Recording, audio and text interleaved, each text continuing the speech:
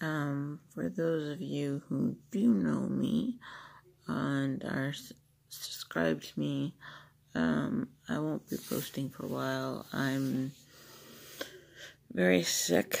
Um, probably be some sort of bug or flu or whatever. So, um, not that I don't like you guys anymore. I do. Um, I'm just feeling really under the weather. So I thought I'd update you on that just in case you're like, why isn't she posting anymore? What's wrong? Did she quit YouTube? No, I didn't quit YouTube. I'm just feeling really sick. And I probably won't be doing any lives either. I just, I feel crappy. Anyway, have a good day. Have a good night. Wherever you are around the world. And I love all my followers.